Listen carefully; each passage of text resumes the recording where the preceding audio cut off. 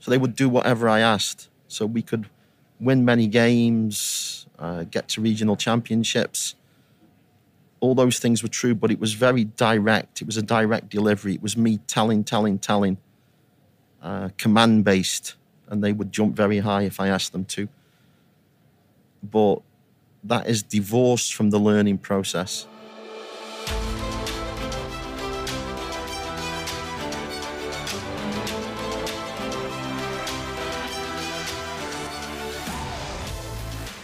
Welcome to the Cutting Edge Coaching Podcast, where we believe coaches are some of the most important teachers and leaders in the world, and they deserve to be supported. I'm your host, Luke Gromer, and every week we're bringing you conversations with coaches, experts, and leaders from across sports that will give you practical ideas and strategies that you can apply in your coaching to develop high performing teams and high character people. Coaches, I'm excited to welcome Tim Bradbury to the podcast. Tim is the Director of Coaching Instruction for the Eastern New York Youth Soccer Association. Tim has a wealth of coaching experience from the youth level through the collegiate level.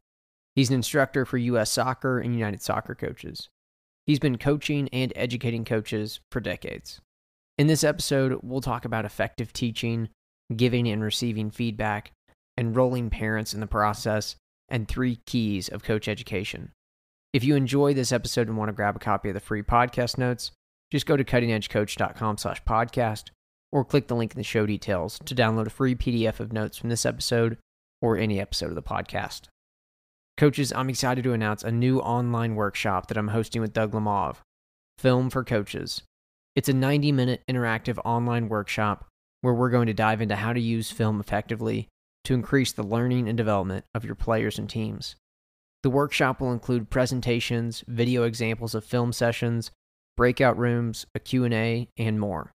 Spots are limited, so go to filmforcoaches.com or click the link in the show details to learn more or register before it fills up. And one note about this episode before we hop in. This conversation with Tim was recorded live at a coaching convention, so there may be a bit of background noise at times. But we did our best to edit the audio to bring you the highest quality possible. Now to my conversation with Tim Bradbury. Enjoy the episode. Coach is really excited to welcome Tim Bradbury to the podcast today. Uh, Tim, before we dive into the questions, let's just take a minute and will you share with the audience, uh, real briefly, uh, a little bit about your coaching journey and where you currently are?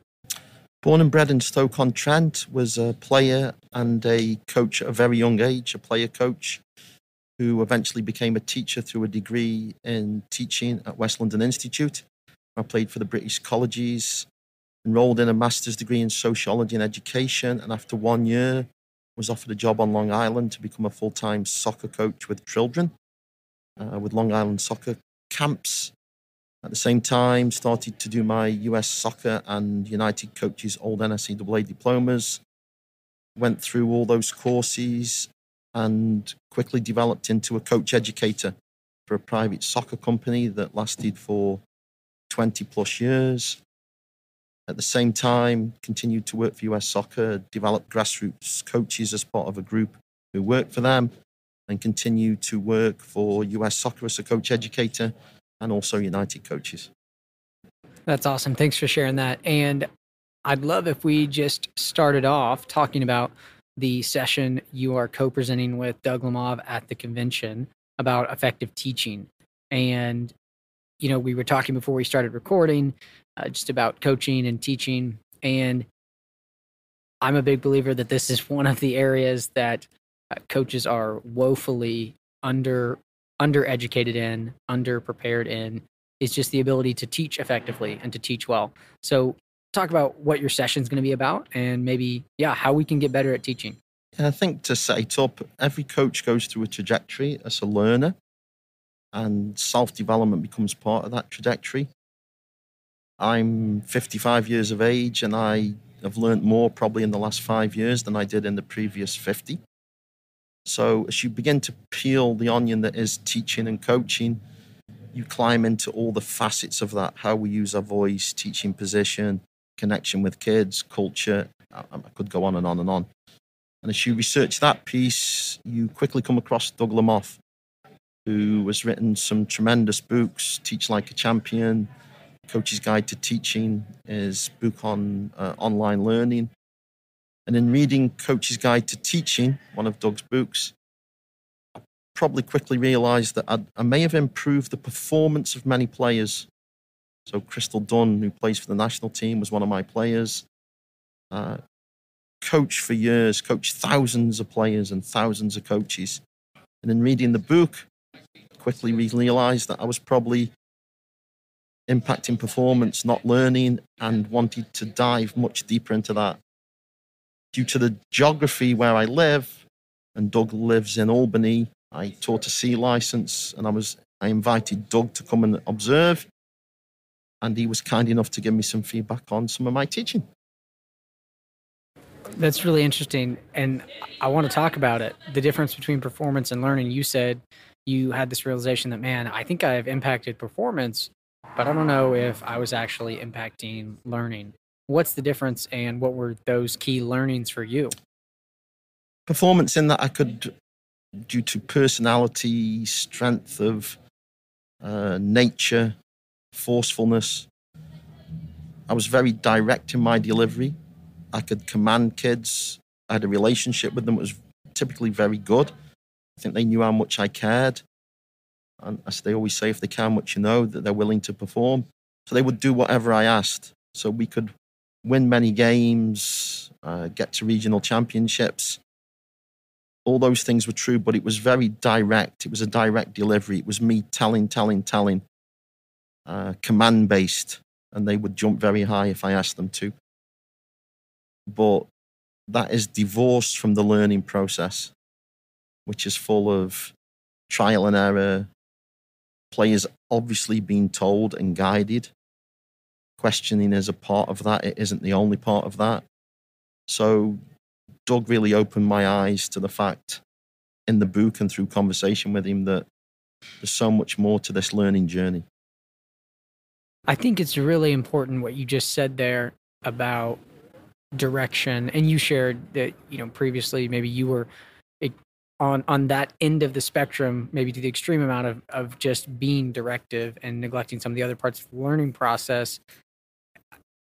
And I think what you said though is also important that we don't need to go to the other extreme where we don't do any directing or telling because there are definitely plenty of times and situations where as the coach we do need to be directive um, we can't always be inquiring or trying to get them to discover on their own. Sometimes we do have to show them, tell them uh, what needs to happen because they might not have the background knowledge to really understand or know this thing yet. So I think that's an important thing you highlighted. But then I'd love to get into uh, as you made that shift or, or those learnings, you know, how did it practically affect your coaching? What did you start to embrace more? Yeah, I think as you allude to, the journey and it seems to be the same journey for everybody. And I wish there was a way to shortcut it. And that once you climb into this learning space and it's player centered rather than coach centered, what tends to happen is you become the Riddler. And there's a million, you ask a million questions. Sometimes the questions where you know the answer and the kid doesn't, and it's a guessing game. And again, that isn't effective learning, but you go through that process in order to achieve this balance point the balance point being to help this player person move forward. What knowledge do I give them so they can learn and experiment in applying it? And what knowledge do I let them discover? And at which steps do I let them to discover it? So for me, it's definitely a mix. I think self recognition, self awareness, and empathy are obviously a part of this journey. And it just struck me that as I read Coach's Guide to Teaching, there was so much detail in the learning process, which I was subconsciously aware of, but wanted to climb into more detail with. Yeah, I, I agree with you. I think that the self awareness and what you said there, the empathy piece of it, is is so important for us to have as we go on that journey. You know, for most coaches, they probably aren't fortunate enough to have you know access to someone like Doug to come watch their session and give them feedback. Um, and and honestly, you know, depending on the sport, most coaches have little to no education, training, mentoring, uh, coaching that they get themselves. So, what would you say, or, or what advice would you give to uh, a coach that wants to get better as a teacher, but isn't really sure where to start? How do we do it? I think the first thing is um, we talk about video, we talk about self reflection, we talk about analysis of one's own performance. But for me, the key is ask your players. Typically, coaches who self reflect reflect 70% incorrectly on their own behavior. So if I thought I asked questions, when I reflect, I pretend that I did, basically, is the truth. This is a study from the UK. Uh, but if you ask your players, you get the truth. So the key in asking your players is are you prepared and honest enough and have enough humility to ask honest questions? And are they self insecure enough to give you honest, honest answers rather than you've created a culture where they're telling you what you want to hear?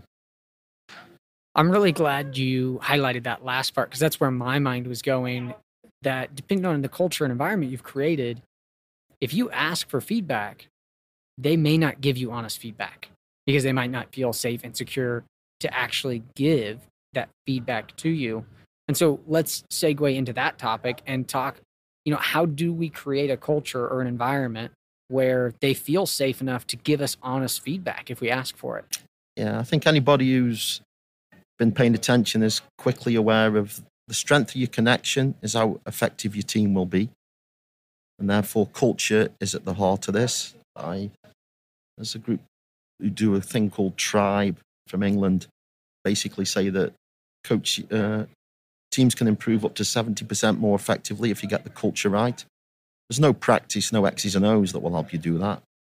But if you can build a culture with psychological safety, where kids know that, and the way I do it is to ask kids five values. So they sit in pairs, they create the values at the foundation of their team. And typically, they're saying the same things honesty, caring, communication, hard work. It's all the things, I mean, you can call the shots, it's all the things we would hope for them to say.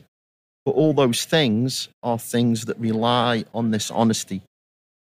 And once you've created these core values and you have them live them in sessions, so we talked about honesty. Are you being honest with each other? Are you being honest with me? Uh, I think it's an easy dynamic. That sounds incredibly crass, but it's an easy dynamic to set up and control. Yeah, I love what you shared there about getting them in pairs, asking their values. I, have done similar exercises, and the the funny thing about it is, is they usually generate exactly what you would hope that they would generate, and it's this ironic process of when we give them some ownership and control, we actually can get what we wanted in the first place uh, to a greater level. Because you talked about the reality of how important a connected team is. So I, I'm curious on that note, you know, that values exercise. Are there other things that you do really practically with the teams you coach or that you uh, encourage the coaches you educate to do to build a connected team? I, you know, I think it, it is absolutely a ton of small interactions and moments that build on each other. But are there other practical things that we can do? Yeah, I think too many people create core values, put them on a chart, and they never speak of them again. I think you have to help them live them and breathe them. So you have t shirts with them on, you have supporting quotes that they found. When they come to practice, you ask them, How did you show some perseverance at school today? So it becomes, they have to be able to articulate how they lived the value. And if you do that sufficiently enough, so you can even prime practices or you pick up exercises where you know frustration may come out and therefore self discipline is important. Uh, and they just become great talking points. Yeah, I think that's really powerful. I, I like that example too of just challenging them to consider where have you seen our values lived out in other contexts? Where have you done it? Maybe where have you seen a teammate do it, or maybe someone even not on our team? Where can you share an example of that? You know, one of the things that I've tried to be really intentional about lately in my coaching is is that on my practice plan, one of the things I'm taking notes on throughout the practice are things I want to celebrate at the end of practice. And so I'm jotting down things around uh, kind of our team identity that they agreed to that I want to make sure at the end of practice or sometimes in the moment to stop it and do it. Um, at the end of practice, I'm saying, Hey, uh, Tim, I loved the way that you did XYZ. You know, that was totally in line with who we want to be. Um, and just celebrating, celebrating those athletes in front of the whole team for living out those values, I think is is so so so key. Yeah, I think growth mindset has to be mentioned as part of this growth mindset in the normalizing error. So yeah, we've got these core values, but I as your guide, I as your coach, I recognize that sometimes I'll fall short. So we talked about honesty in practice, but I find a moment where I feel I've got to praise a kid. So it's dishonest praise, which is common in youth coaching. This good, great cheerleading piece kids see through that pretty quickly. But if you're honest enough to stand in front of them and say, for the right, I got this wrong today. I think I sold our value short. Those moments of humility and honesty are enormously powerful in building the culture. That's such a great point. Yeah, one of the most powerful things to build your culture for sure is just moments of authentic vulnerability from you as the coach, where you say, guys, that's on me. I messed that up. I wasn't good here. I'm, I'm going to be better tomorrow. And even just sharing, uh, even proactively, hey guys, this is these are the places I'm trying to grow. My stoppages were terrible last practice. I droned on and on and on, and you guys were bored. I'm committed to having 30 second stoppages today. Um, sharing those things, I think, like you were talking about, the growth mindset is is one of the ways that we instill it. Is that we model it, that we show up and we recognize um, how we can improve and grow as a coach. We share that with them. We're willing to own it when we don't, uh, because I really believe that that becomes contagious. Environments I've been in as an adult and as a player where that's a thing, it's contagious. People want to grow. People want to get better, but we've got to model it first. Yeah. And same as if you hide, if you start to hide your mistakes, camouflage them, that quickly becomes a disease that spreads through the team as well. Yeah, yeah, absolutely. And and that just makes teaching and learning so much harder. If if your athletes are trying to hide their misunderstanding or errors, man, teaching's a lot harder than if they're willing to say, "Coach, I've got no idea what to do here." Yeah, it's better to thank them for the mistake and say, "You've given me an opportunity to help you grow. Mm, I yeah. appreciate the effort. This is something I think I can guide you in. So thank you for being so vulnerable and honest with me." Yeah, yeah, that's really good. That's not the norm for how coaches respond to errors and no. mistakes typically. But I, I, yeah, people walk the walk. They don't talk the talk. They talk the talk, but don't walk the walk. And that you talk to coaches who say they've got a growth mindset, and then you go and watch them coach a game. And as soon as a kid makes a mistake by passing it to the goalkeeper, as an example, to use my context as a soccer coach, quickly the twos hauled off and screamed at. Whilst all through that process, the coach says, I've got a growth mindset. So you have to take it on, be authentic, live it. Yeah, gosh, yeah, that's that's so important. And I think one of the reasons that you know that example you just shared of athlete or player plays it back to the goalkeeper and doesn't go well is that as coaches, if we don't regulate our own emotions, you know, sports are so emotionally charged, so emotionally hyped up we're competitive, we want to win. That's not a bad thing, but it can easily hijack our mind and our emotions and make us behave and respond in ways that aren't aligned with who we want to be. Yeah, it's the layers of being an effective teacher that I alluded to before. Emotional intelligence is certainly one of those layers that you need to explore deeply.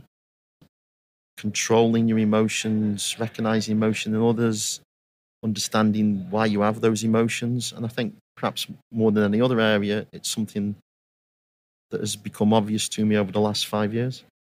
Yeah, let's let's talk more about that emotional intelligence. Where do you see because you're educating a lot of coaches? Where do you see typ- coaches typically struggle in this area, and how can we improve in it?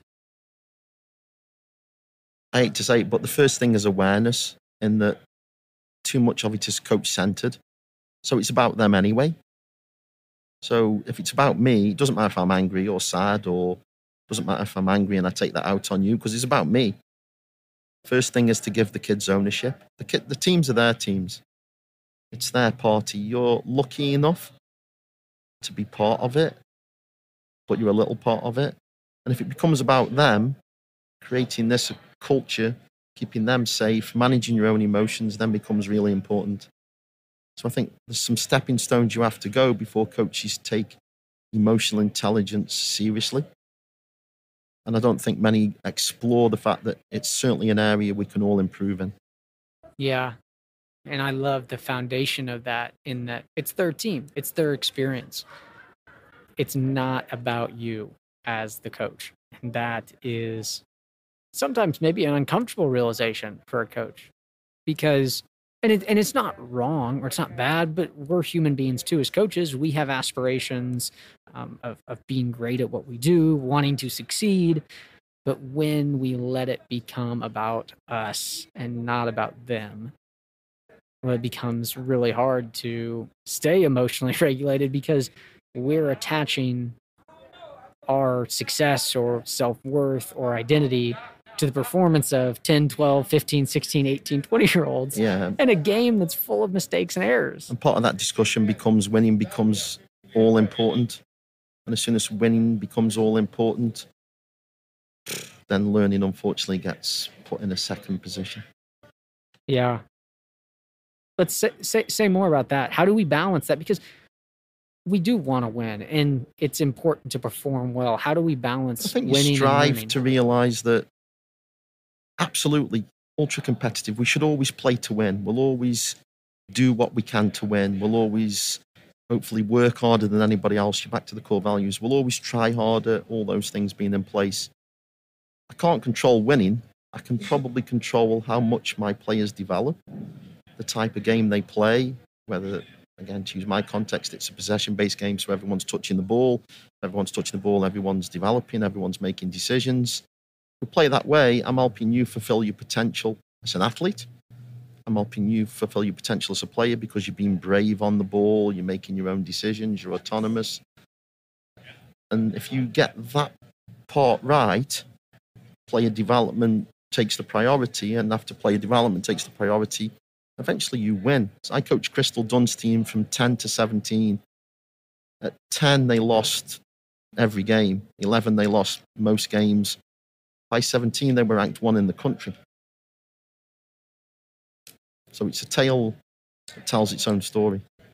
Yeah, and I think that it's important to remember that as coaches that it takes takes time and you know you were in a unique situation. I know it's not the situation for every coach in every club in every sport, but you got to follow this group, you know, from the time they were 10 through 17. I think it's particularly challenging for coaches when I just coach this team for one year, right? I've just, I'm coaching these group of 13 year olds one year and I'm never going to see them again.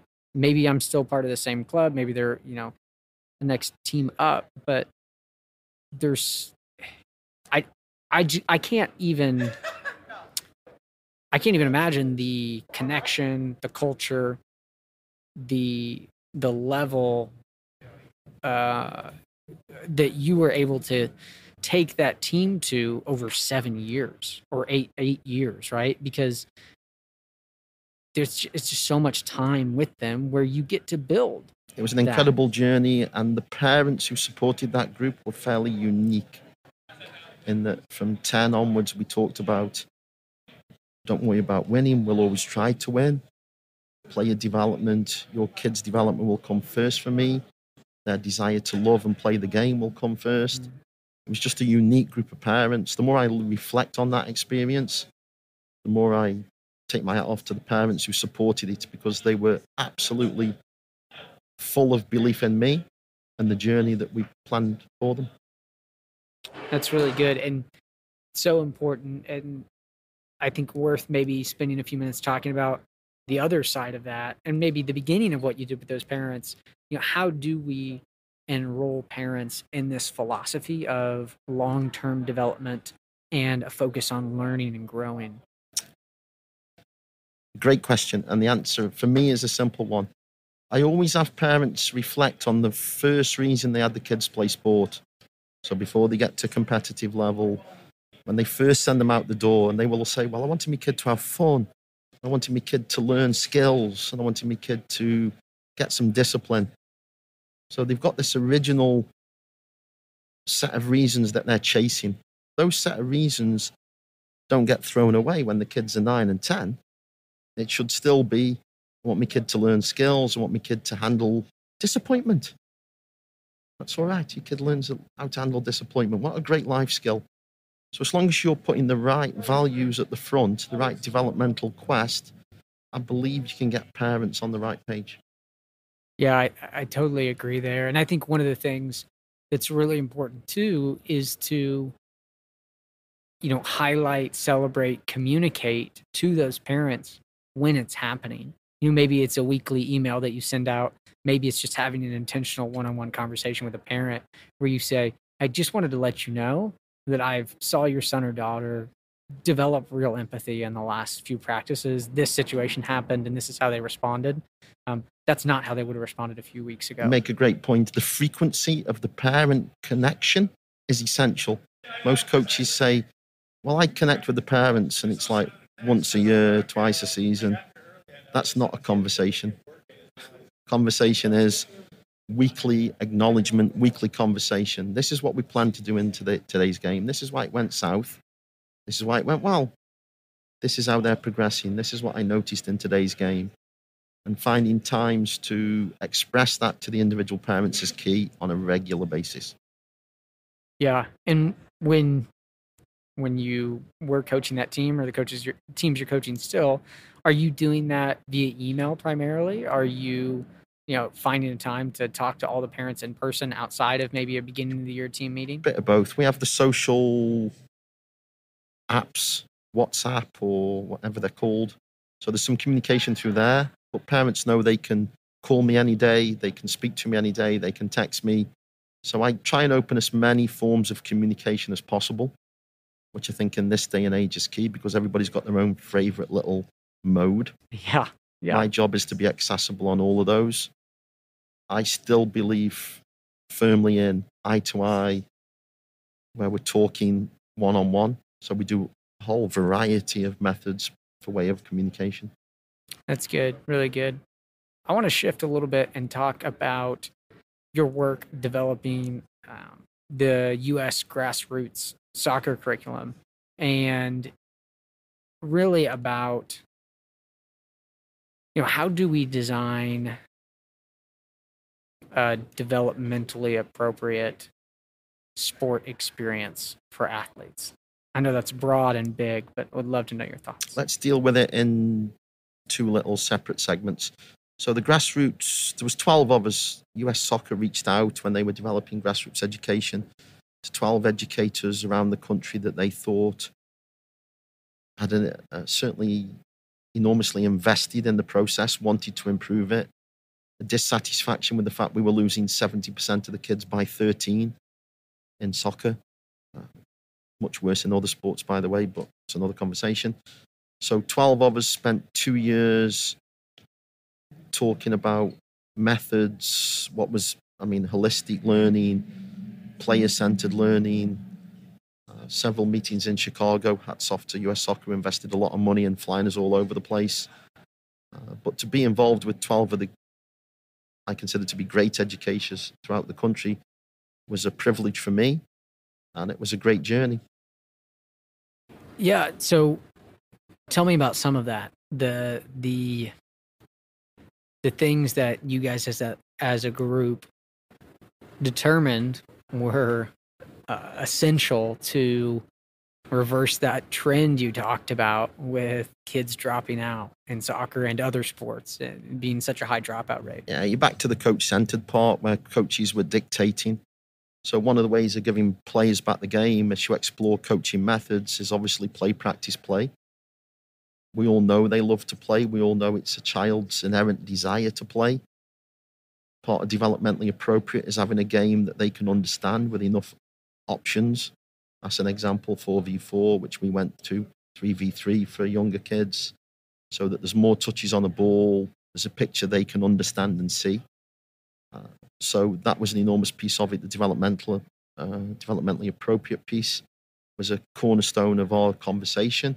Ask was choosing a method which we thought would give more autonomy to players, even if a coach was, it's all about me. Because if you tell a coach, okay, I understand you think it's all about you, but we're going to let them play. And then perhaps coaches make me laugh when they say, kids don't talk. Kids don't talk because coaches don't shut up. it's the absolute truth of it. But if you're not wrong. We shut up, they will talk. And if you give them small enough numbers, they'll begin to solve the problem of the game together. So, to a degree, it was a voyage of common sense. Yeah. Yeah. You bring up some great points there. Talk more about what you mentioned there at the end the importance of appropriate numbers, not only at the younger levels, but even then as they progress, the importance of small sided games and giving them a picture where they can start to solve the problems. And we say to people if you thought about designing coaching education, there's only really, well, there's three places you can start. You can start with the game, if you understand the game. You can start with personal people, so cognitive, social, physical growth. Or you can start from learning how players learn at different ages. So that's an example with five year olds, very simple, clear uh, instructions. They run around quickly, you don't talk for more than 30 seconds, they come back, etc.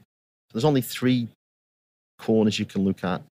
What we did was look primarily at how, what people are, so cognitive, psychosocial, physical, with a good degree of learning involved in that because enough of us had experience of coaching different ages that we were steeped in the practicality of it.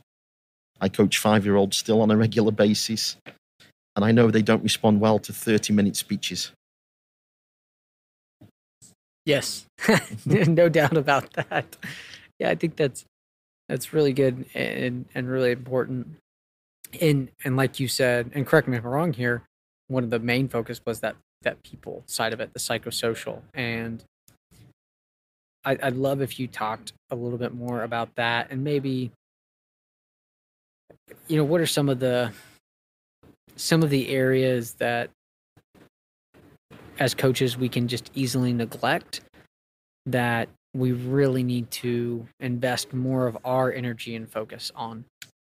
I think practice design is a good way to look at this. If I'm designing, I decide my team need to improve possession. I don't know, any aspect you like.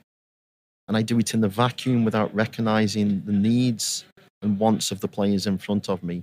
So I don't distinct, I don't think about where they are cognitively. Are they capable of hypothetical thought? Do they understand that space is important? Do they understand what if questions?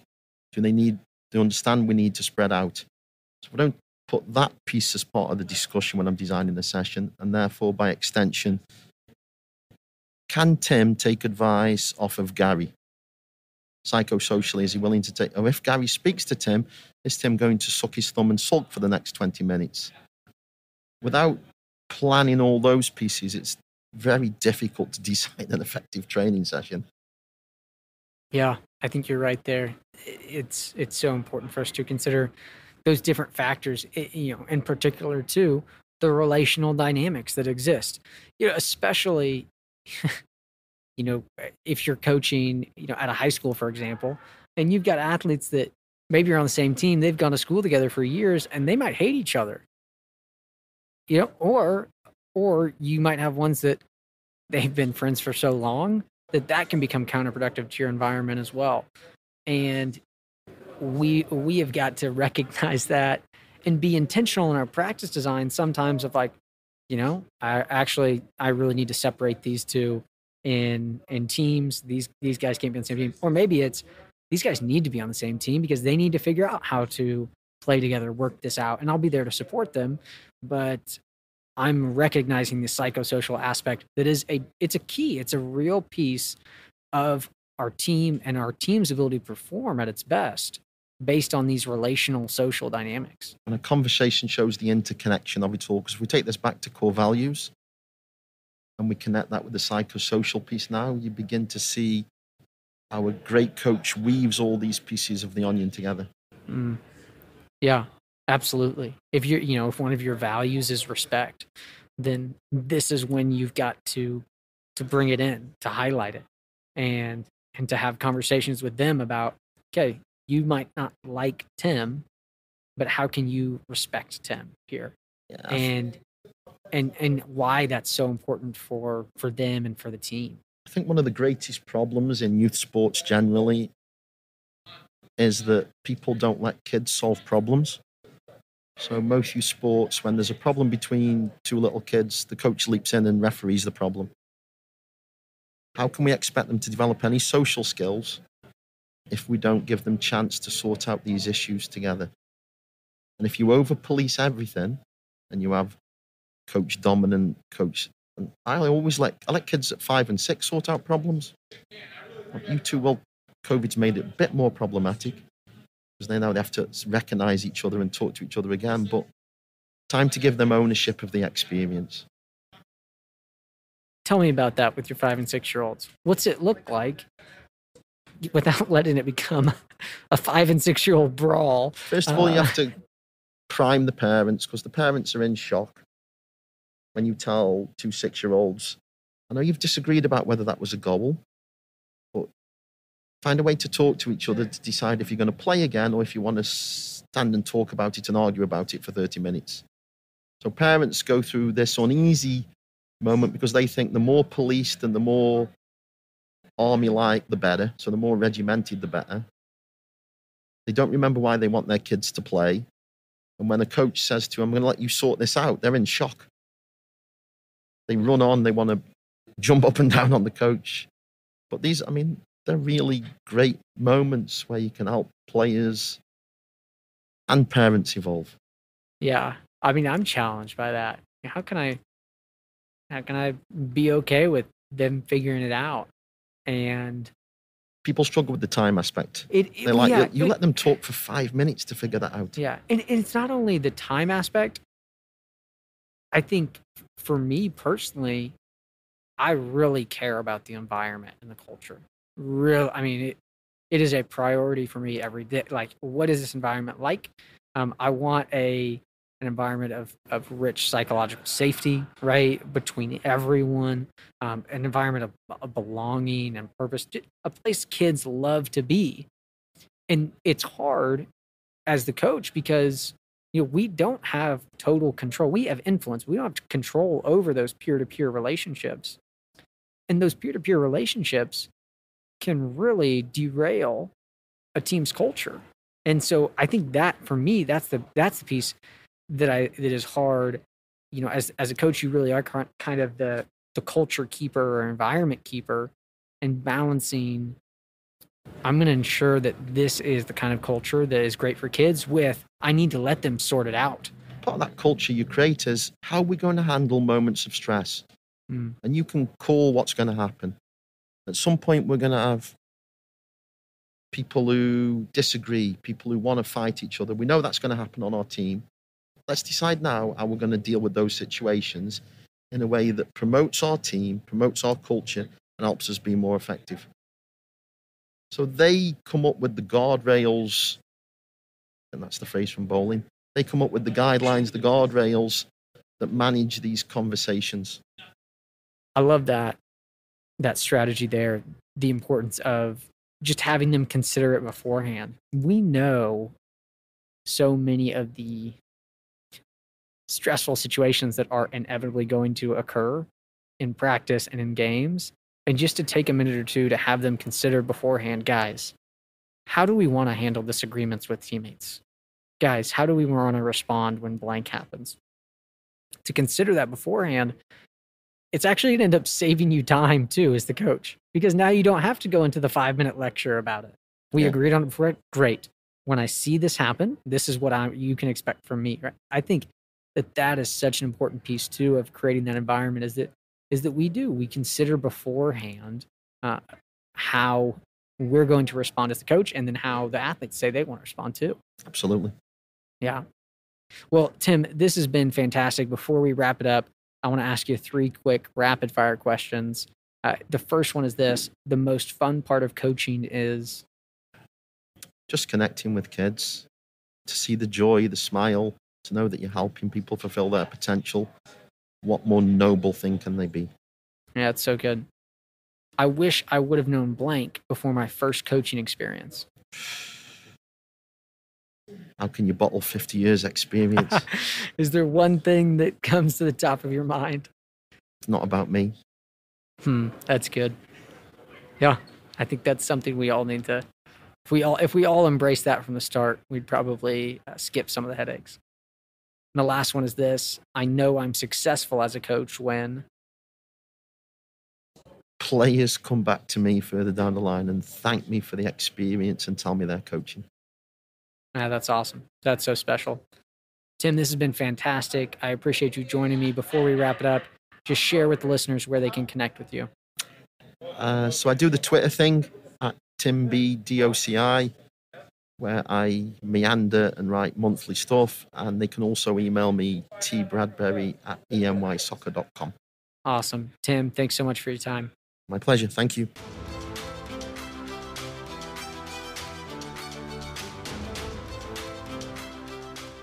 Coaches, thanks for listening to this episode, and thanks to Tim for joining me. As always, if you enjoyed this episode and you want to grab a copy of the free podcast notes, go to cuttingedgecoach.com slash podcast to download a free PDF of notes from this episode or any episode of the podcast. And don't forget to check out filmforcoaches.com to learn more or register for the upcoming online workshop I'm hosting with Doug Lemov. Spots are limited, so claim yours today. That's filmforcoaches.com. Thanks for listening to the podcast.